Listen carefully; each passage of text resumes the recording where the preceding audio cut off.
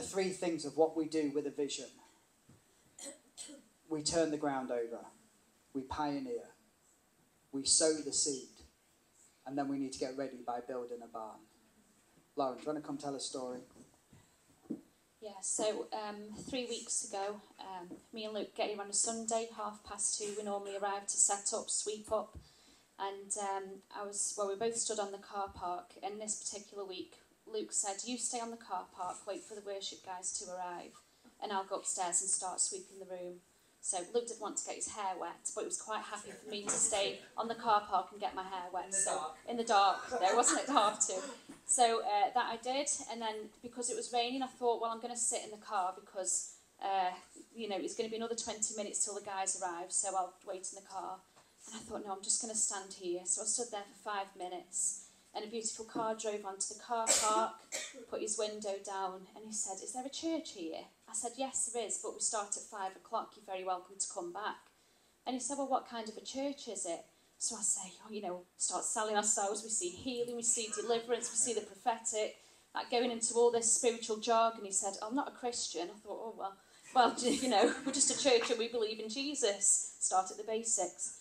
And he said, uh, well, I said, you're welcome to come upstairs and take a look. So we came up, Luke's sweeping as he does. If you come at half two, you're very welcome. You can help Luke sleep, uh, sweep up.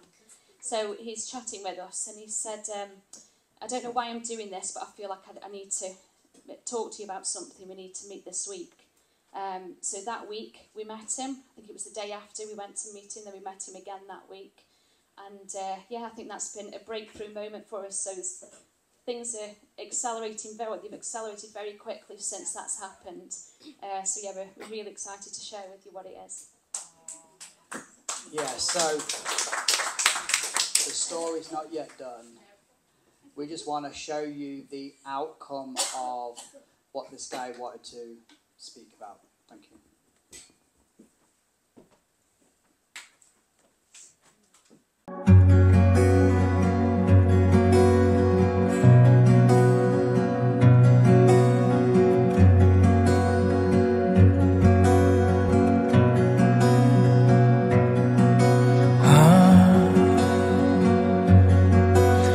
Distant shore awaiting me home. A city that you're building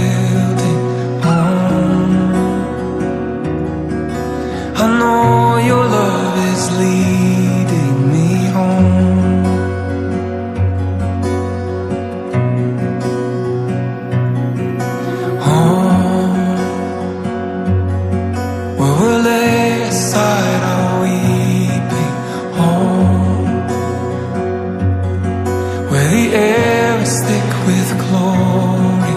Home This is where my heart is aching to go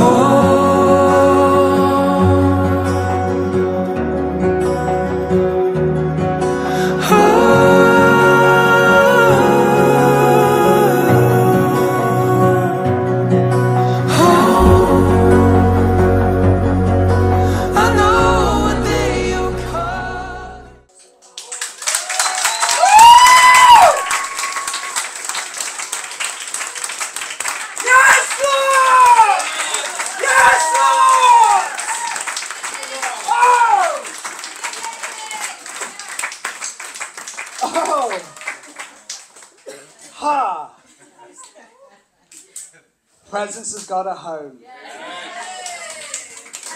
Wow! Ha! Lauren, come tell the story. You said this morning, when you tell when you do the build up, don't give detail. And I'm thinking, well, how do I tell the story? Um, yeah, so uh, you did pull onto the car park, that bit is true.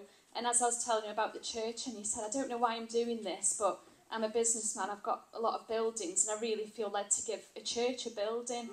And I was like, oh, right, okay. And we've been praying for a building, as you know. Me and my boys have been praying every single night for a building since we launched, because this is hard work, believe it or not, setting up and putting down every week.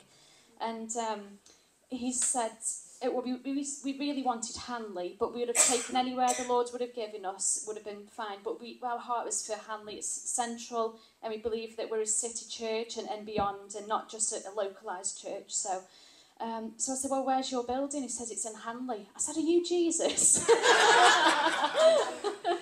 and uh, uh, but it's so bizarre. I think that building, we most most people know it's iconic. Every workman that's come in the last week has said, I've got some memories in here. I said, I have too. Mostly asleep on the floor or falling down the stairs, but God redeemed me. And um, yeah, it's just happened so quickly. So on the Thursday before um, he came on the Sunday, I was sat in uh, Saltbox in Hanley doing interviews. And from the window where I was, I looked out across and I saw the roof of the telephone exchange building.